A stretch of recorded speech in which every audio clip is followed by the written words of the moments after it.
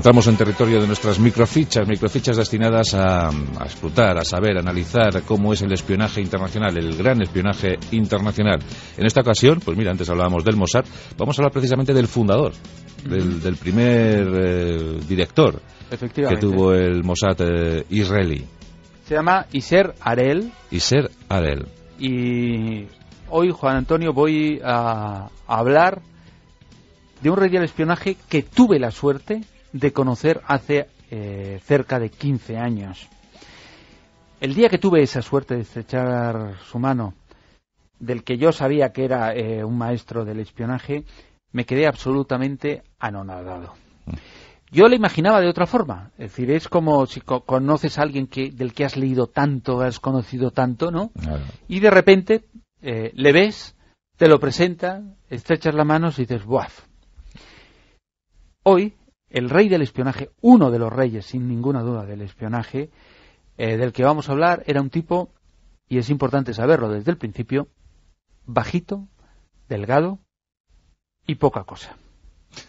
A pesar de eso, sin duda es uno de los que se merece estar en nuestra galería de personajes. Ariel nació en 1912 en Rusia. Su familia era pudiente, tenía su dinerito tenían una fábrica de vinagre, en la cual llevaban trabajando muchos años. Unos años después de su nacimiento, las autoridades rusas confiscaron eh, las posesiones y en 1922 tuvieron que emigrar toda la familia a Letonia, donde eh, Iser comenzó sus estudios.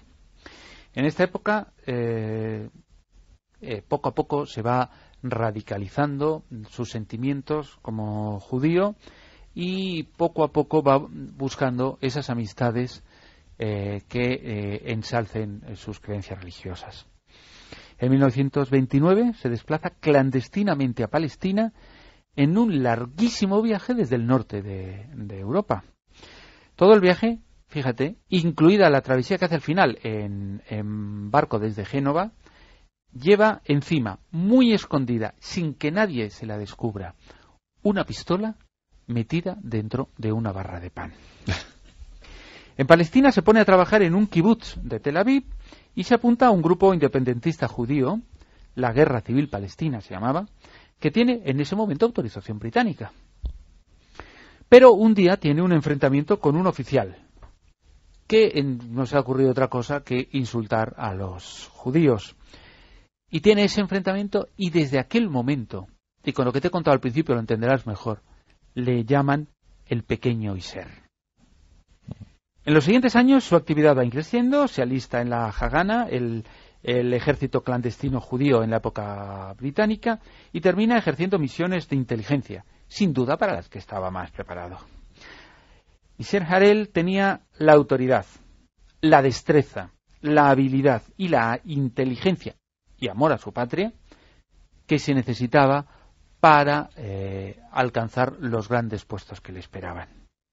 Sus cualidades les permitieron ir subiendo en todos los escalafones, al mismo tiempo que hacía amigos importantes, como por ejemplo Ben Gurión, el que fuera el presidente eh, judío, que el 22 de septiembre de 1952, con el Estado eh, después de la Segunda Guerra Mundial, después de todos sus avatares, le encargó crear el servicio secreto judío, el Mossad. El Mossad en aquel momento era cero patatero. Y Serarel no solo creó uno de los mejores servicios secretos del mundo, disponiendo de medios súper limitados y de un número súper reducido de agentes, sino que convirtió en legendaria sus operaciones clandestinas, lo cual permanece 60 años después. Las primeras tuvieron que ver con su deseo de vengar la muerte de millones de judíos a manos de los nazis. La más conocida fue la caza del ideólogo de la solución final contra los judíos, Adolf Eichmann. Ayudado por el eh, inconmensurable, el gran trabajador Simón Vicental, envió a un equipo a Argentina para dar caza a un tal Ricardo Clement, nombre bajo el que se ocultaba el nazi. Arel mandó un equipo, pero se fue él también, porque Arel aparte de jefe, era toda su vida fue un agente operativo, a pesar de su tamaño.